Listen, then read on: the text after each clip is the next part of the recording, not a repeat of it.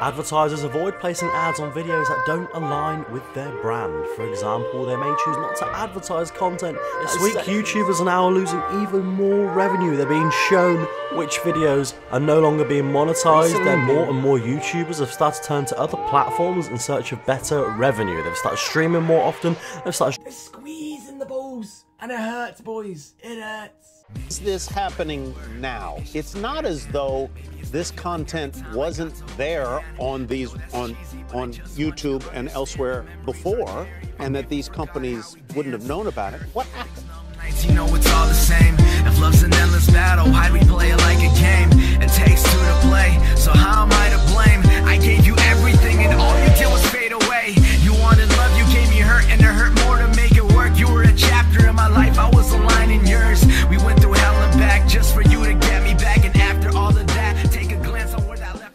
What's going on, guys? Max Mears here. So that little intro skit was quite funny, but uh, I kind of want to address this issue. Uh, that's why it's a very, very short video today. Um, I also don't really have any like footage to edit, so yeah.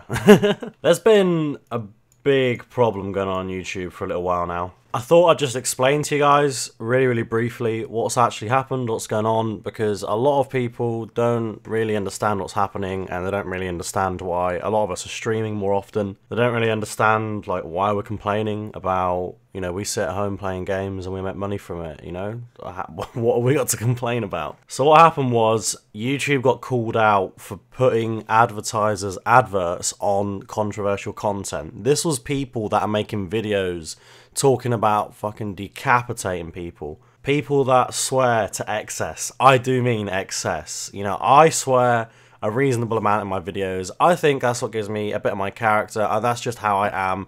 People come to watch my videos for me, for how I act, not just because of the footage. Which is one of the main reasons why I really, really don't agree with what they've done. After YouTube was called out, they basically put a blanket statement saying that any controversial videos any videos where there's swearing or anything sexually suggestive in any way is now going to get less money than it would have been had it been more in line with their new terms and conditions. The issue with this is a lot of content creators are successful because people are there seeing who they are, that come to watch that person as a person. We have to act and be different now. We can't provide the content that we once were able to. Because if we continue making videos where we swear and we joke and we do like sexual innuendos, you know, you come to one of my streams and that's, you know, that's me. That's just me chilling and talking and you guys love it and we all get on so well.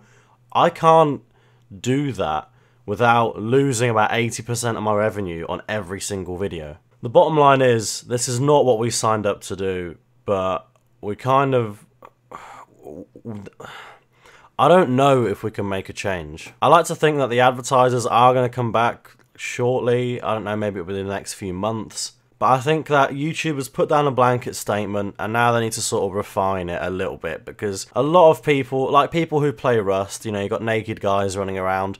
If you have censor nudity turned on, fair enough you shouldn't have your content blocked. Like you shouldn't have you shouldn't be losing monetization because you're doing everything you possibly can to ensure there's no nudity.